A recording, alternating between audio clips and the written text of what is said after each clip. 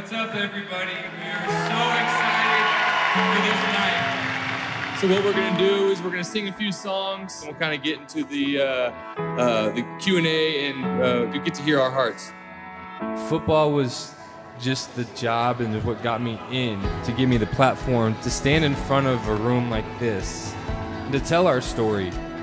We started our foundation our rookie year. We wanted to get involved with the community in some way, and so we had to figure out who we wanted to help, what was our target, where did we want to spend our, our time and effort. And so, with talking and pulling from, from our past, we decided we want to work with sick children and kids with special needs.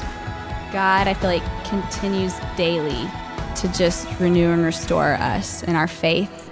And He pulls things out of our hearts that we didn't even know were there so we can become more like Him because of being parents.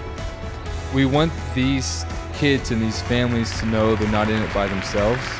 There's other people that have a heart for what they're going through, and we want them to feel loved.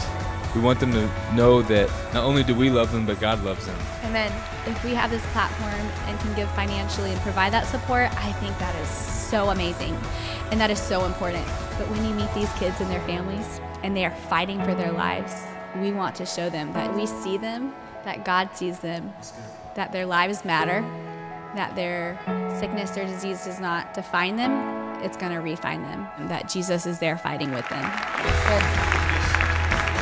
You have the ability to touch people that you may not know that you can touch.